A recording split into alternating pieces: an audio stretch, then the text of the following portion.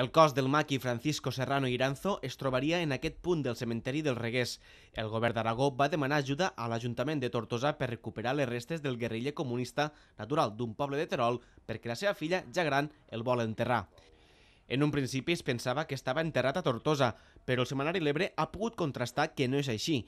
Al poble del Regués tothom coneix la història de la mort de Serrano, conegut com el Rubio o Cisco. Estàvem allí al carrer de casa la nit aquella perquè sortíem a la fresca, a fer llata, a fer cabàs, el que es feia aquí i vam sentir petardos i nosaltres pensàvem que el de Nomen feien, un, feien una verbena, perquè com tenien la gent acomodada, doncs feien de quan en quan alguna festa.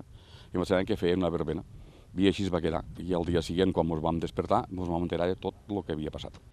Adrián Grau és autor d'un llibre d'història local on es recull l'episodi.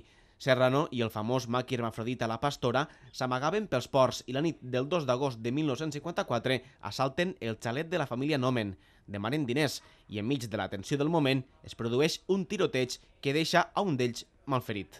Eh, passa tot el que va passar allà a Nomen, eh, la pastora i Xisco, nosaltres aquí sempre diem Xisco, no diem Francisco.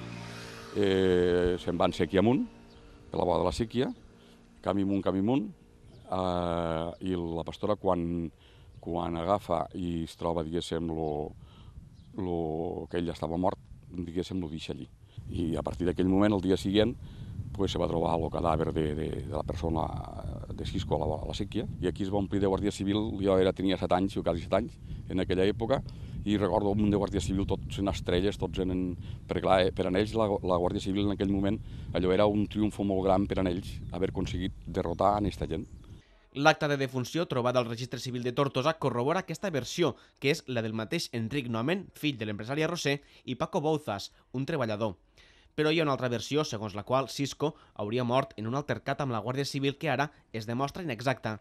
Gràcies a aquests testimonis, el govern d'Aragó podrà recuperar el cos i fer les proves genètiques.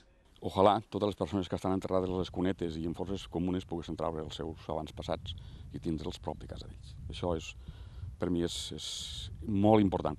I fins que això no s'arregle, la ferida de la Guerra Civil no s'acabarà mai.